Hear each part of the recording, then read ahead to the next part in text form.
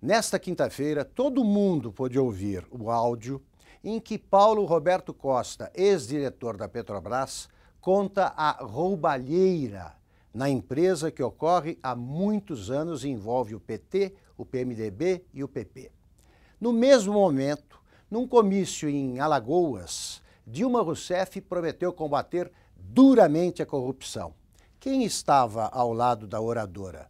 Por exemplo, Fernando Collor, Renan Calheiros e Renan Filho, o governador eleito de Alagoas. Se Dilma estivesse falando a verdade, imediatamente apareceria uma frota de camburões e metade do palanque teria saído em desabalada carreira.